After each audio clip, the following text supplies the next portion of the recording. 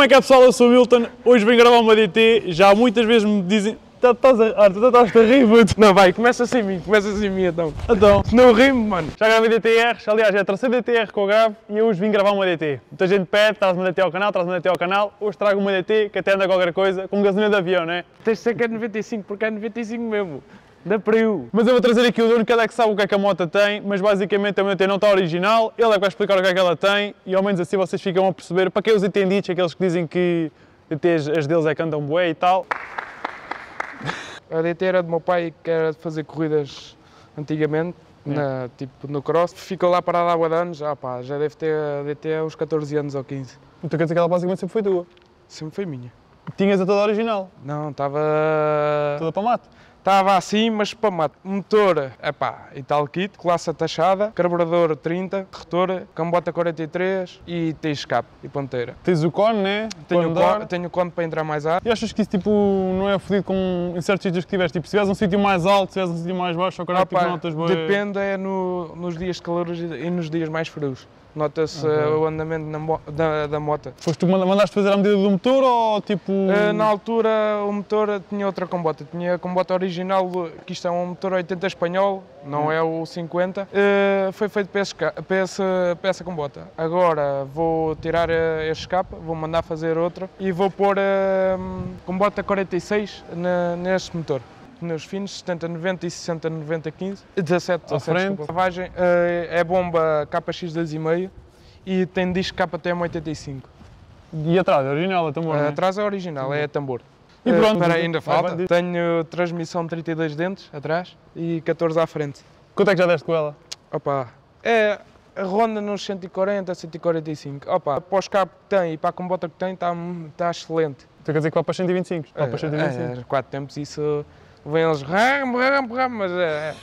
Olha, porra, tchau, põe-te no caralho. Estás a ver aqueles capos do, do AliExpress, poeda bonito. E ah, mas há cara para não sei o E quê. tiros e o caralho, e depois vem lá uma DT Zica 50, 50 com não sei quantos anos e passa por eles e deixas a abanar. Por isso, quem vir esta moto na estrada, isto é o Papa 125. Quezinha assim E aqui. fugir à polícia. Ai, nem O quê?